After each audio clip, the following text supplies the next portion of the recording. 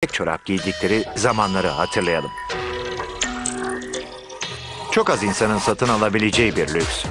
Sonra ince çoraplar icat oldu. Daha ucuz ve daha rahat bir alternatif olarak. Ama nasıl olur da bu kadar hassas bir şey fabrikada seri üretimle olur?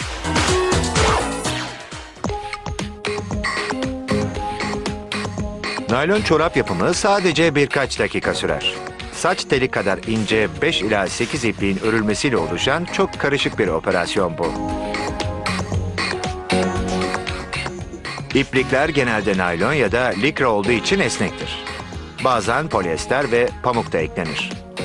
Örme makinesi devreye girer. Bu makine incecik çorapları 90 saniyede biçimlendirir, 3 dakikada ince çorap tüpü yapar. Hızlı yapılan ürünün cinsine göre dakikada 750 ila 1200 devir arasında değişir.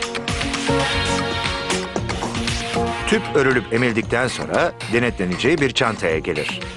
500'den fazla makine kendine has modelini yaparak işi paylaşır.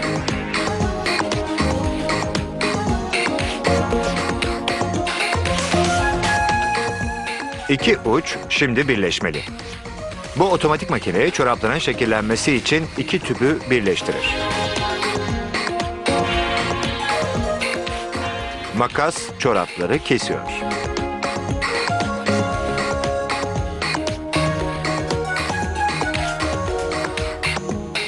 Bu açılış iki tübün birleşmesini sağlayacak dikişin olabilmesi için genişlemesini sağlar.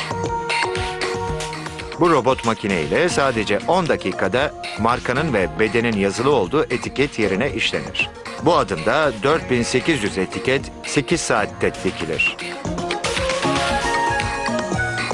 Bunu hazırlamak biraz hazırlık gerektirir. Makaslar birleşme noktasında bir kesik oluşturur. Daha sonra çoraplar emme ile ters yüz edilir ki dikme işlemi içeriden devam edebilsin.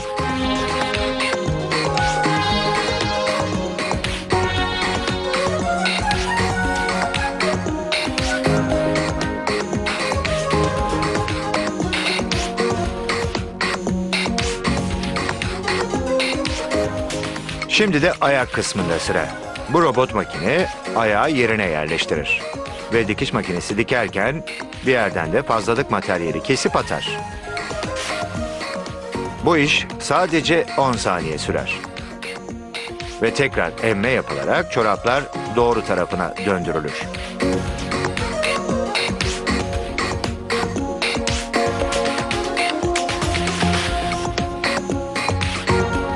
Ağın yerleştirilmesi için her şey hazır. Çoraplar tüpe yerleştirilerek yeni çalışma alanına geçerler. Çoraplar tekrar alınarak bir operatörle ağ makinesine yerleştirilir. Bu yolla ağın kırışıksız olması sağlanır. Ağı yerine takmak bu süreçte en son işlem. Önceden kesilmiş pamuklu parça kendisi için ayrılan yere yerleştirilip dikilir.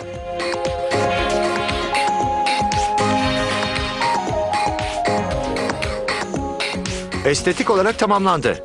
Şimdi biraz da renklendirmek gerek. 45 kiloluk kapasitesiyle büyük bir davula benzeyen 4 bölümlü çamaşır makinesinin içine konuyor. Sabunlu suyla yıkanıp boyaya daldırılıyor. Isı 93 santigrat dereceye çıkıyor. 5 dakikalık bir dönüşten sonra yumuşatıcı ekleniyor.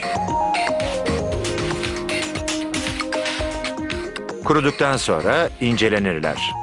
İnce çoraplar girilebilecekleri bir çerçeveye konarak incelenirler.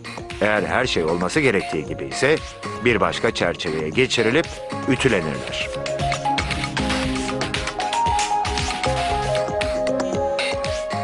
Çoraplar gizli göze yerleştirilip yollarına devam ederler. 140 derecede tam 7,5 dakika kurutulma işlemine girmeden önce buhar odasında 2,5 dakika tutulurlar.